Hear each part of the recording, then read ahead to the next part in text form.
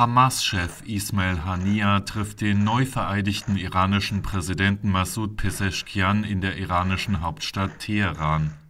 Kurz nach dieser Zusammenkunft wurde Haniya nach Angaben der Hamas bei einem Angriff auf dessen Residenz in Teheran getötet.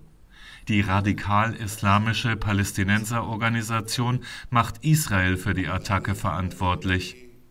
Die iranischen Revolutionsgarden bestätigen den Tod Haniyas. Neben ihm seien demnach auch dessen Leibwächter getötet worden. Ein ranghoher Hamas-Vertreter erklärte, die Ermordung Haniyas sei, Zitat, eine feige Tat und werde nicht unbeantwortet bleiben. Haniya wurde 2017 Chef des Hamas-Politbüros. Er lebte im Exil in der Türkei und in Katar. Israel lehnte einen Kommentar zu den Berichten ab.